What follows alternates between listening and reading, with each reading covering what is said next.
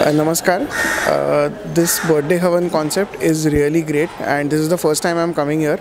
Uh, I've been doing this for the past few years, but could not uh, come here. But I, I think all the children and all the parents should, uh, you know, make this, uh, make an attempt to visit the birthday havan it's very it's very peaceful it's very divine it's a very different experience to celebrate your children's birthday.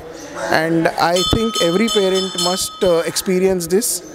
Uh, this is this is this is a very great experience which i have had personally. Thank you very much